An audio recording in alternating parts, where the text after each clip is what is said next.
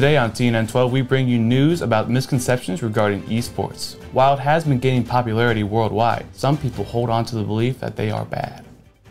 However, research has shown that esports can actually boost strategic thinking, build team skills, and cognitive and social development. Earlier today, we spoke with multiple individuals at the BPA National Leadership Conference in California. It provides beneficial skills because esports is not only a skill with like hand-eye coordination, dexterity, that kind of stuff, it also helps build interpersonal skills where you have to work on that team.